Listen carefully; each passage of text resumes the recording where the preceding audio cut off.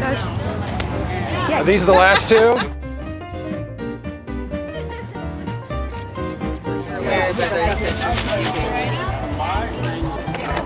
You're gonna have to get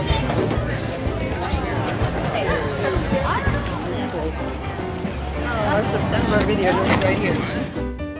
Yeah, yeah. I got carrots, and I got uh, cabbage, and I have a beautiful head of lettuce and some basil. These are things that I am not growing successfully in my own garden.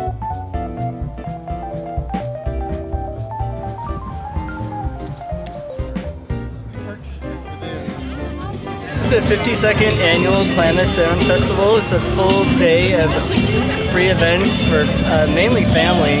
That's what we really try to cater to at the Salmon Festival. We have music, we have cultural demonstrations, we have a hundred vendors here today. Wow. It's pretty amazing. It's an amazing time, and it's free.